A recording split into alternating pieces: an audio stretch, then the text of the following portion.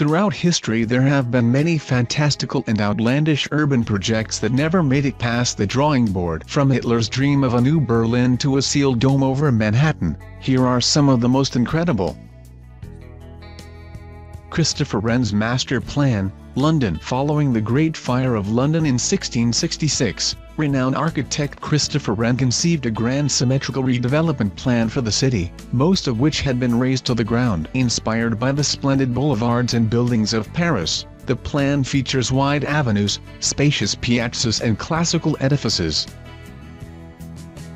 Wren's grid-based plan wasn't meant to be overly ambitious and prohibitively expensive. The project was eventually abandoned and property owners ended up rebuilding on their existing plots. This illustration commissioned by New London Architecture shows what the city would have looked like if the plan had gone ahead.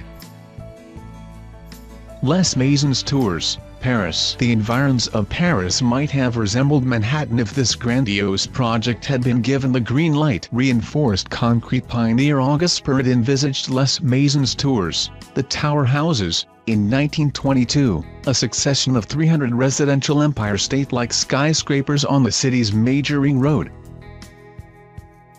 Connected by sky bridges, the towers would have topped out at 985 feet apiece, which is in the same height bracket as the Shard in London and New York's Chrysler Building. Needless to say, the sheer scale and massive cost of the project ensured it never saw the light of day.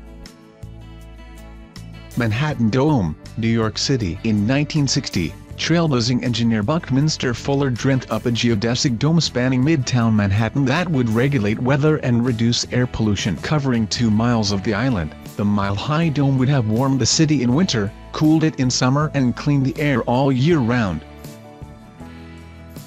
Fuller believed the dome would pay for itself in under 10 years with the cash saved from snow removal in winter and he was convinced the city authorities would opt for the project one day. Ultimately, the dome was never taken seriously. In any case, the structure would no doubt have been far more expensive than Fuller anticipated.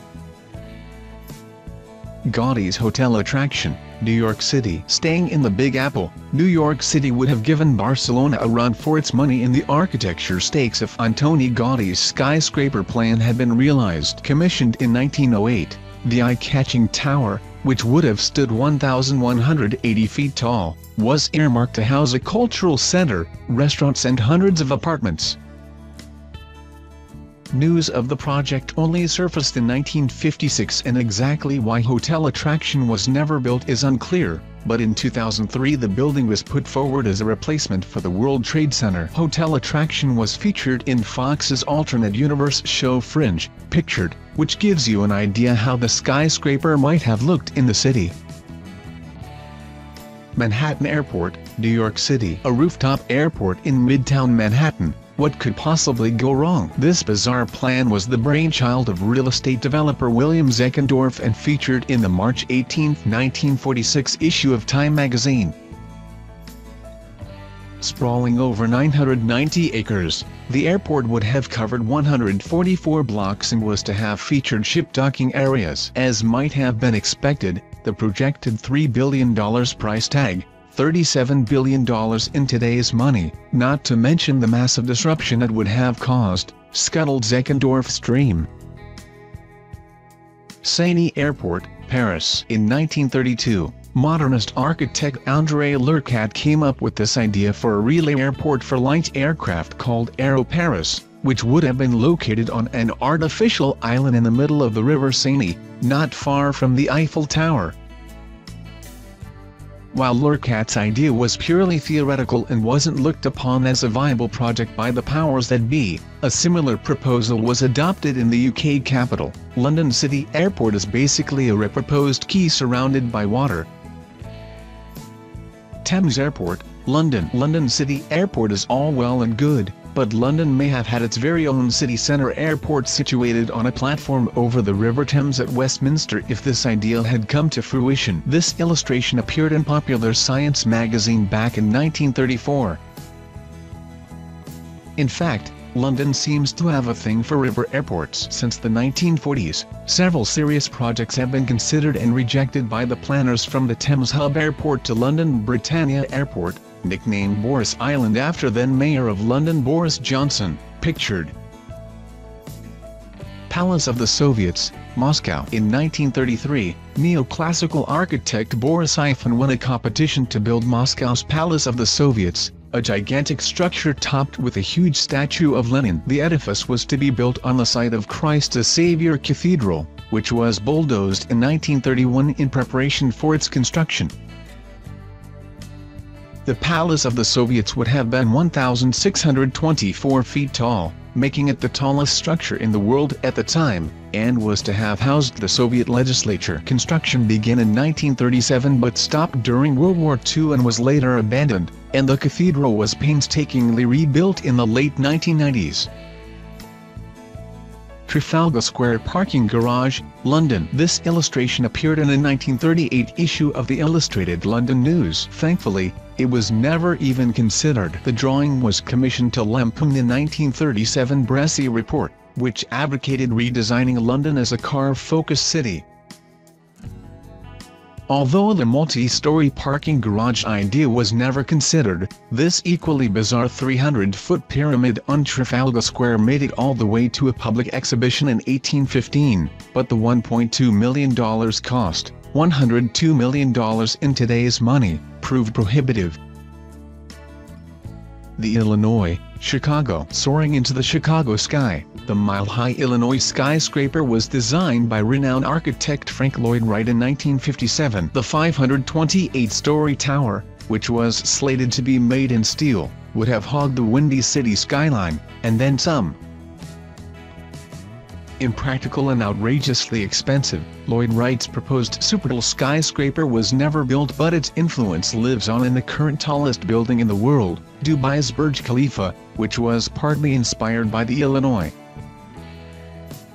Le Corbusier's Radiant City. With its imposing brutalist towers, this may be many people's idea of architectural hell but Ville Radieuse, Radiant City, as it was christened, was game-changing architect Le Corbusier's vision of a perfect city. The Franco-Swiss visionary conceived the project in 1924.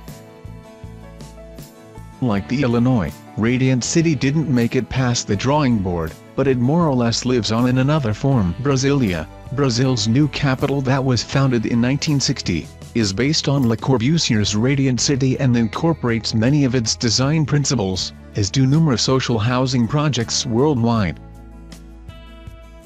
Concrete Covent Garden, London London's Covent Garden is one of the city's major tourist attractions with an attractive array of 17th, 18th and 19th century buildings. But all this was threatened with demolition in 1968. A harsh brutalist scheme was floated by the Greater London Council, which would have covered most of the area with concrete structures. Luckily, the proposed revamp was eventually ditched following a campaign by local residents and the area was sympathetically reproposed as a shopping, dining and entertainment destination, retaining its period character. This image, which featured in a 2013 English Heritage exhibition, shows what the area might have looked like if the plan had been successful.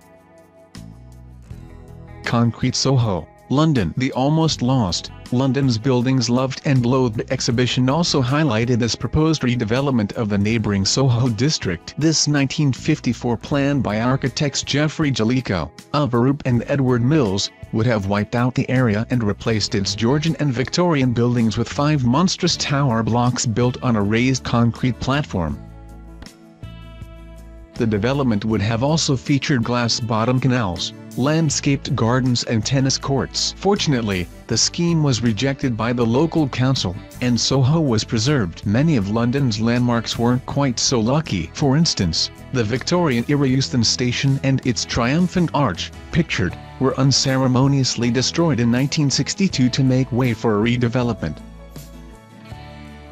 The development would have also featured glass-bottom canals, landscaped gardens and tennis courts. Fortunately, the scheme was rejected by the local council, and Soho was preserved. Many of London's landmarks weren't quite so lucky. For instance, the Victorian-era Euston Station and its triumphant arch, pictured, were unceremoniously destroyed in 1962 to make way for a redevelopment. Like most of the projects we've looked at, Hood's skyscraper bridge's plan was deemed impractical and completely unaffordable, but his design for Rockefeller Center managed to work in some of the plan's Art Deco motifs. Welthauptstadt Germania, Berlin. If the Nazis had won the war, Berlin would have looked like this. Designed by Albert Speer, the first architect of the Third Reich, Welthauptstadt Germania, world capital Germania, was Hitler's redevelopment plan for Berlin and would have involved destroying 100,000 homes and famous landmarks such as the Brandenburg Gate. The city would have been dominated by a colossal Great Hall and reorganized around a monumental avenue of splendors. This image from the video game Wolfenstein, The New Order shows what it might have looked like in 1960.